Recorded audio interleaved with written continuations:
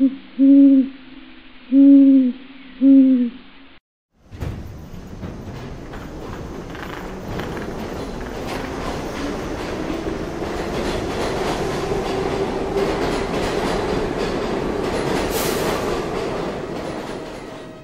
you afraid?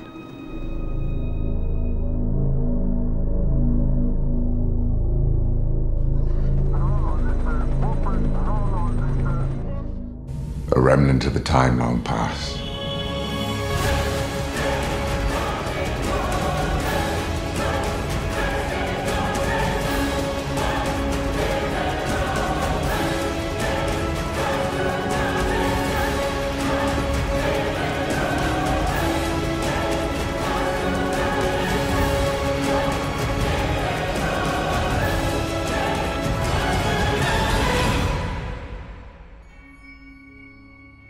The truth, you should seek it out for yourself.